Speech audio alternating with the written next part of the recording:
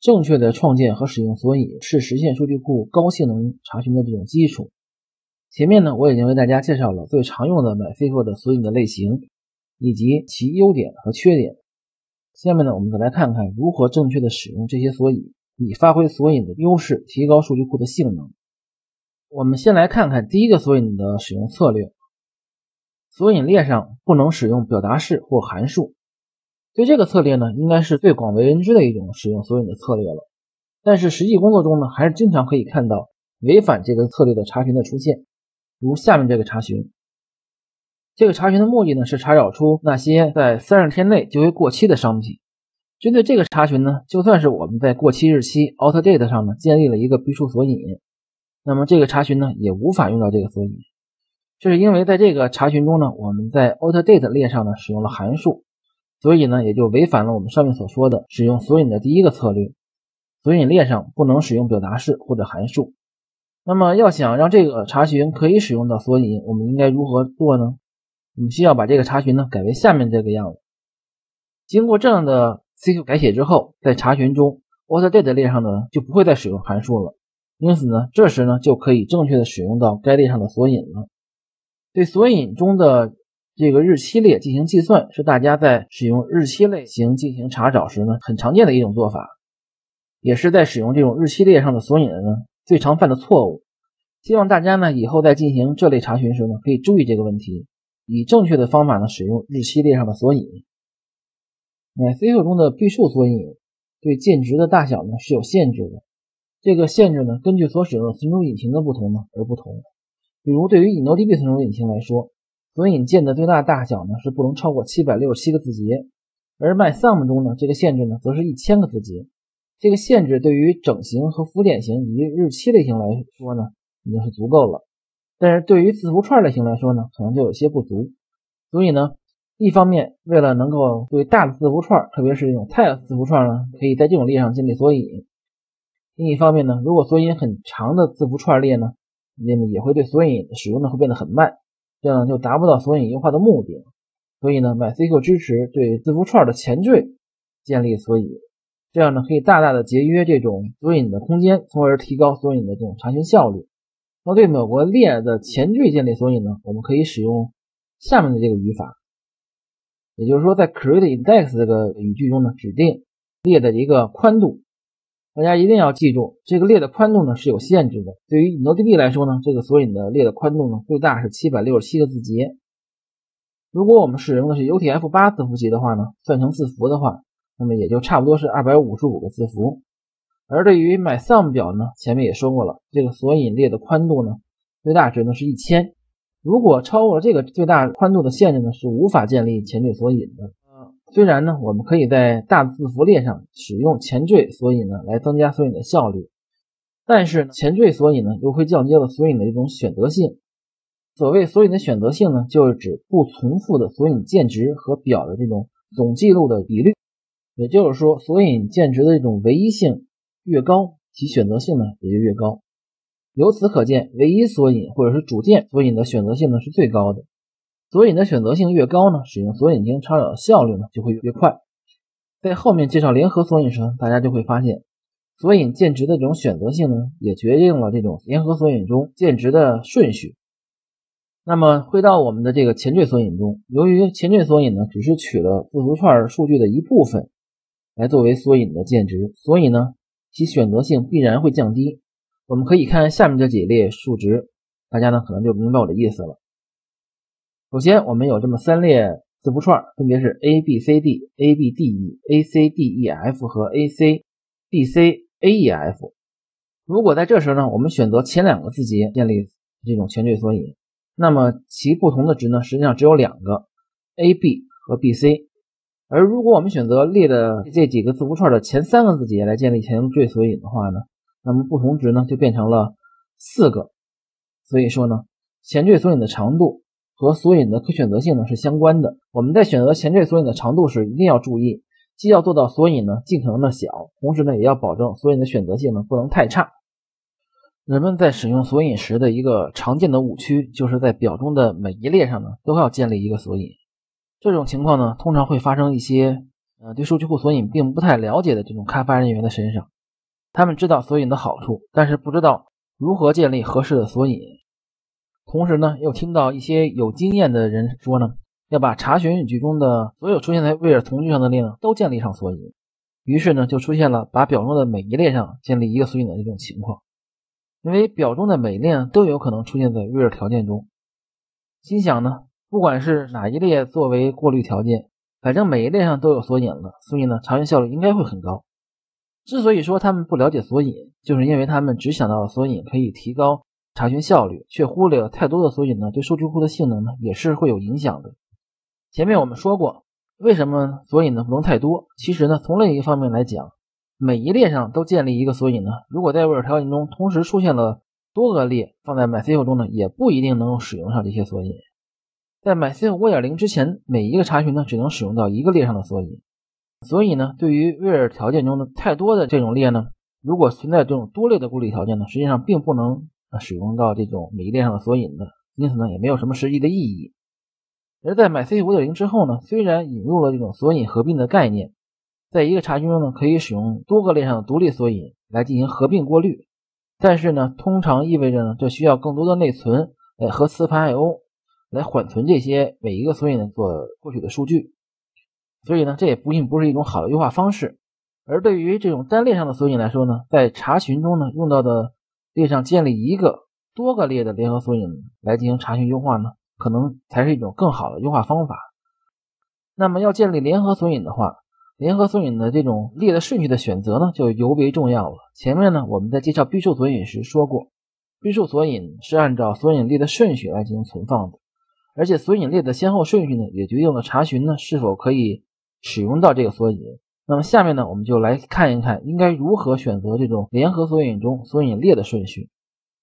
首先，那么第一个原则呢，是经常会被使用到的列呢优先的这种原则，就是如果我们非常频繁的会使用某一个列来进行过滤，那么我们就要把这一列呢来放到这种联合索引的最左边。那么前面呢，我们也说过，索引列的顺序呢是按照从左到右的顺序来使用的。对于出现在最左边的列呢，不但在多个列的联合索引中可以被用到，就算是在单个列的过滤中呢，也同样会被用到。所以呢，我们要把经常用于查询的列呢，放在联合索引的这个最左边。当然呢，这也并不是绝对的。如果我们经常使用到的这个过滤条件呢，是指一种像状态列这样的列，本身的选择性呢很差，那么就不适合放在这种联合索引的最左边了。因为选择性很差的列呢，如果就算建立了索引，MySQL 优化器呢也不见得会使用到这个索引，因为 MySQL 优化器呢可能会认为，在这种情况下呢，使用全表扫描要比使用索引的成本呢更低，所以呢，这就引出了我们选择这个索引列顺序的第二个原则，也就是选择性高的列优先的原则。选择性高呢，往往意味着可以过滤出更多的数据，特别是在 where 条件中。选择性越高，查询的效率呢也就越快。如果联合索引最左边的列呢选择性很高，那么在完成最左边列的过滤后，能够满足条件的数据呢也就没有多少了。这样呢，再进行后面的过滤呢就要快得多。索引顺序选择的第三个原则呢是那些宽度比较小的列应该优先使用。当然了，这是在不违反选择性原则前提下来进行的。宽度越小，就意味着呢一页中所能存储的索引呢越多。也就代表了使用索引过滤时候的 I/O 呢会越小，同时呢也就加快了索引的这种查找的效率。我们在进行索引优化时，关注的重点通常是位儿子句中的这种过滤条件。其实呢，在前面我们介绍 B 数索引时呢已经说过，，B 数索引呢除了可以帮助我们加快过滤数据、找到我们所需要数据的内容外，还可以做很多其他的事情，比如说排序、分组等等。其实呢，除了这些之外，我们还可以使用必数索引呢，直接获得我们所需要的数据。必数索引和哈希索引是不同的，在必数索引的叶子节点上呢，存储了索引的这种关键字的值。所以呢，如果我们可以通过索引的关键字直接获取索引查询中所需要的数据，这样呢，也就没有必要再读取数据行的信息了。那么，这种包含了所有需要查询的字段的全部值的索引，我们就称之为覆盖索引。这里所说的全部值，不但是指 where 子句中所出现的列的值，同时也包括了出现在此类的从句中的值和 order by 和 grow by 从句中的值。那么知道了什么是覆盖索引，那么下面呢，我们再来看看使用覆盖索引会给我们的优化数据库的性能带来什么样的好处。通常对于一个表来说，比如一个有三十列的表，那么每个索引呢，就算是覆盖索引，最多呢也不过是包括这三十列中的几列数据。所以呢，索引中的条目通常会远小于数据行的大小。因此，如果我们只需要读取索引就能够完全完成我们的查询的话，那么呢，MySQL 就会极大的减少数据的这种访问量。因为索引呢比较小，所以呢缓存中呢就可以保存更多的这种索引数据，减少数据从磁盘和数据库缓存之间的换入换出，这样呢就优化了这种缓存的处理效率，减少了磁盘 I/O 的这种操作。同时，由于批数索引呢是按照键值的顺序来存储的。那么，所以呢，对于 I/O 密集型的范围查找来说，会比随机的从磁盘读取每一行的数据的 I/O 呢要少得多。而且，批数索引呢，在访问时呢，可以把磁盘的随机读取的 I/O 呢转变成索引的这种顺序的 I/O。而通过我们前面的内容呢，大家应该知道，磁盘设备呢在处理顺序 I/O 时呢，要比随机 I/O 呢快得多。所以呢，这样呢会更有利于数据的这种查询的速度。前面呢，我们也介绍过了，对于 InnoDB 存储引擎来说。二级索引呢，在叶子节点中保存的呢是行的主键值。在通常情况下，如果是利用二级索引来查询数据的话，那么在查找到相应的键值后，还要通过主键呢来进行二次的查询，所以才能够获取我们所需要的行的数据。而在覆盖索引中呢，二级索引的键值呢就已经可以获取我们查询所需要的所有数据了。这样呢就避免了对于主键这种二次查询，这也就减少了相关的一种 I/O 操作。那么，InnoDB 存储引擎的表呢，可以通过覆盖索引呢来获得巨大的好处。同时，对于 MySum 表来说呢，它其获得的好处呢可能会更大。那么，对于 MySum 存储引擎来来说，啊，MySQL 呢只会缓存这种索引的信息，数据呢则是要依赖于操作系统来缓存。因此呢，如果我们要访问数据，则需要进行一次这种系统调用，而系统调用的性能呢通常会比较差，所以呢很有可能会产生这种严重的性能问题。所以，如果能够通过索引来获取全部所需要的数据呢，就可以避免这种系统调用的产生。覆盖索引呢，对于优化 MySum 存储引擎的查询呢，会更为的有效。和所有的优化方法一样，覆盖索引呢，也不是解决性能问题的一种灵丹妙药。换句话说，并不是什么样的性能问题呢，我们都可以通过覆盖索引来解决。在下列的场景中呢，覆盖索引呢就无法使用。首先来说，并不是所有的存储引擎都支持覆盖索引。比如我们前面介绍过的 Memory 存储引擎，它就不支持覆盖索引，而且呢，也不是所有的索引类型呢都能够建立这种覆盖索引。通过对覆盖索引的介绍，我们知道，只有在索引的叶子节点中包括了键值的索引，才能够建立这种覆盖索引。所以呢，我们之前所介绍的哈希索引呢，就不能够作为覆盖索引来使用。其次，如果在查询中包含了太多的列，这样呢，也不太适合建立。这种覆盖索引，覆盖索引呢，之所以能够提高查询的性能，主要是因为索引的大小呢，要比行的大小小得多。如果索引本身很大，那么呢，就没有使用这种覆盖索引的必要了。特别是对于一些 Slate 星这样的查询，由于查询了表中的所有列，所以呢，就不可能有索引呢可以覆盖到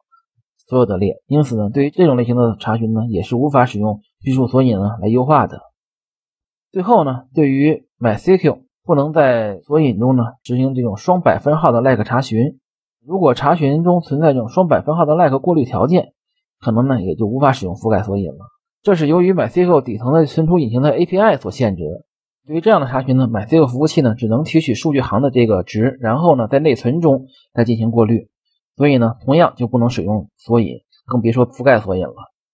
我们可以来看几个覆盖索引的例子，让大家呢就更明白什么样索引呢是覆盖索引。接下来呢，我们就进入到我们的演示系统中，来为大家讲解一下什么是这种覆盖索引。首先，我们进入到刚才我们所说的 Security 数据库，我们来看一看 Security 数据库的 Film 表。使用这个表来给大家演示一下覆盖索引的这种查询计划是什么样子。首先，我们来查询出这个 Language ID 列，我们只要这一列，From From 我们查询 language ID 列呢等于一的这样的数据，大家可以看到，那么现在这个查询计划呢，就是一个最简单的覆盖索引的查询计划。因为 form 表呢在 language ID 列上呢有一个单列的索引，而且呢我们在 slate 从句中呢也只是返回了这个 language ID，所以呢完全可以使用索引呢来获取我们所需要的信息。这里呢就是在查询计划的 tar 列中呢是显示了 usen index 这样的信息，就是说我们是使用索引来获取的我们的数据。但是呢，当我们把查询改成下面这样形式时呢，我们再来看一下查询计划会变成什么样子。我们这时呢，返回所有的列，用 s e l e 的新的方式。嗯，大家呢这时候可以看到这两个查询计划的 extar 部分呢，一个是 usen index，而另一个呢是 usen where。这就说明呢，第二个查询呢是不能从索引中获得所有数据的，也就是说不能够使用到覆盖索引。而必须是把所有数据呢先装载到内存中，然后再进行 where 条件的过滤。这也就是我们刚才所说的，在使用覆盖索引时候的一个限制，就是对于这种 slate 新的查询呢，是无法使用覆盖索引来进行覆盖的。那么呢，我们再来看看下面的查询，比如说使用这个 actor 表，我们来使用这个表来再进行一些查询。在这里呢，我们查询出。actor ID 和呃 last name，我 last name 不对，等一个 job。我们可以看到，在 actor 表中呢，虽然说只有 last name 列上有一个索引，但是呢，同样呢，我们在进行下面的查询中是使用到了这种覆盖查询、覆盖索引来进行查询。这就因为呢。在 InnoDB 表这个二级索引上呢，会自动的加入我们的这种呃组件，也就是 actor ID 的信息。所以呢，同样呢，我们可以使用 lastName 这个索引呢来进行覆盖查询，来获得我们所需要的对查询的所有信息。还有一点呢，大家可能要注意，对于不同版本的 MySQL 呢，以上这个查询呢，可能输出的执行计划呢并不一样。比如说呢，在 MySQL 5.7中。在 extar 列中呢，就只会出现 usen index 这样的信息，而不会出现 usen where。这可能更加符合我们对这种覆盖索引的理解。所以说呢，高版本的 MySQL 呢，对这个查询的优化呢，可能要比低版本的 MySQL 的优化性能呢会更好。